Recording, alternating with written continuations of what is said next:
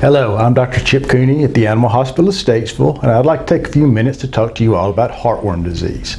So the inspiration for this little talk today came from our recent Ask the Vet episode that we did, and a question came across, and it was, does my pet really need heartworm prevention? And the answer to that is actually quite simple, yes. But the explanation for that is much more in depth, and that's what I'd like to go through a little while with you all today. Um, just a couple facts. A recent study showed North Carolina having the seventh highest number of heartworm positive cases in the United States. Um, we in this practice average over one case of heartworm disease per week. Um, so yes, heartworm is a huge issue here, a huge issue for us um, and something we really need to talk about. So when I'm in an exam room with the client, um, I talk about heartworm by first asking, do you know how pets get heartworms? And 80% of the time I get a blank stare. 20% of the time people say, yes, mosquitoes. And I say, ah, oh, great, and here's a cookie for your dog, not for you. Um, so they get a little bonus there. But most of the time people have no clue that a tiny little mosquito is what, is what causes or spreads heartworm disease to these pets. The next question is, how do you keep your pet from being bitten by a mosquito? And that's actually kind of a trick question because there really is no good way. While there are mosquito repellents for pets, they work really poorly. They're not going to work 100%. So there's really no good way to prevent your pet from getting bitten by a mosquito. Now, some people say, well, a pet's strictly inside. He doesn't go outside. And of course, the next question is, well, does he go outside to go to the bathroom? Well, yeah, a couple times a day. Well, that's an opportunity. But even my pets who use the potty pads are still at risk because there are uh, types of mosquitoes who like to be inside, would rather be inside, and mosquitoes get in our homes, and all it takes is one mosquito bite by the wrong mosquito biting a pet who is unprotected for this disease to spread. So now we talk about how the life cycle works. So this little mosquito is flitting around and he comes and he bites a dog who is infected with heartworm disease. Takes the blood meal, the microfilaria, which are the baby heartworms, are taken into the mosquito. Mosquito then flies off, flits around, finds another dog who is does not have heartworm disease and takes a blood meal there.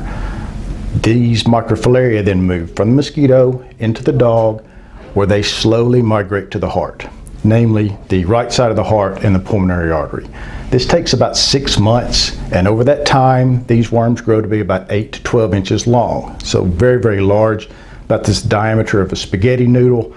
And it can be very few of them, one or two, and it can be bunches, up to 250 um, in the heart of a dog. So obviously this is a mess, causes heart failure, can lead to kidney disease, can lead to liver disease, um, and frequently fatal in pets. Now, there is a treatment for this. That is not the ideal. Treatment is very expensive, six to eight hundred dollars or more, spread over a period of four or five months. Um, the medicines can be tough on the dog. They are not without complications. Treatment, though we have this conversation at least once a week up here, is not our ideal. Our ideal is prevention. Now, how do we do that? Well, heartworm is actually really easily prevented. I've been doing this for longer than I'd like to admit. And I can remember days of Filaribits. And Filaribits were a tablet you had to give your pet every day. And every day that prevented heartworm. And if you missed a day, that was a day your pet could get heartworm disease. Well, now we have pills that you give once a month that control or prevent heartworm, they prevent intestinal worms. We have topicals that do the same thing. There's a new uh, pill that does heartworms, intestinal worms, fleas, and ticks. Heck, we've even got an injection now that you can give a pet that lasts for 12 months. So we give the pet an injection today, and next year you come back and get another injection. It's incredibly easy to prevent this disease uh, nowadays. Now, cats also can get heartworm. Now, they don't get it at quite the rate, the rate that dogs do, but they can. But the problem is that cats get heartworms in a heart that's about this big, dogs get it in a heart that's this big. So let's put an 8 to 12 inch long worm in this heart, that's a problem but let's put it in a cat heart, and that is, excuse the pun, catastrophic. Um, cats who get heartworms invariably die from heartworm. We can prevent it with a topical liquid on the back of the neck. Once again, prevents heartworm, intestinal worms, ear mites, um, fleas, and ticks. So very easy to do, um, and it's great, great to have your cats on these products as well. So one of the questions I periodically get is, do we truly need to give heartworm medication year-round down here? Well, that's a good question if you live in Maine or Minnesota or Montana, um, somewhere where we truly have winters. But most of us who live in North Carolina know that our winters aren't quite what they used to be.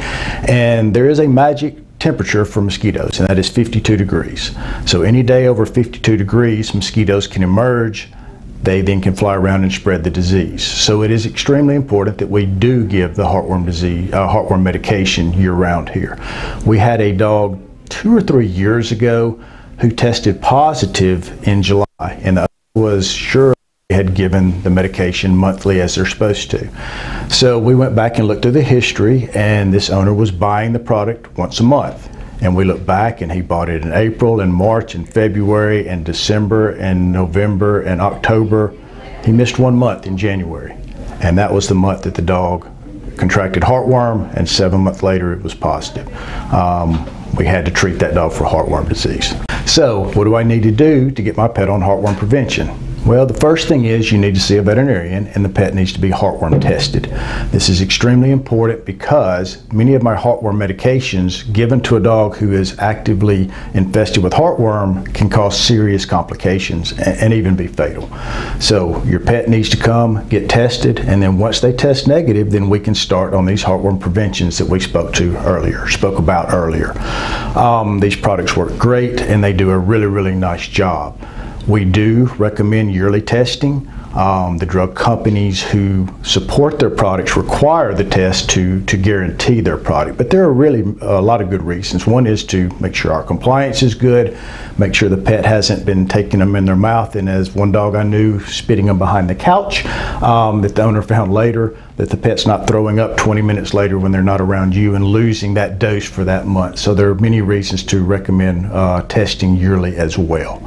Um, so there's our information on heartworm, probably more than you wanted to know, but we hope you've given you guys some, some good information here. And I think the answer to our question, does my pet really need heartworm medication, is unequivocally yes. Thank you for watching. Say hi, say something stupid. Hi, hi, and say something stupid. Hello. Um, so I'm Dr. Cooney. Is that enough for you to figure out if we're working or I not? think so.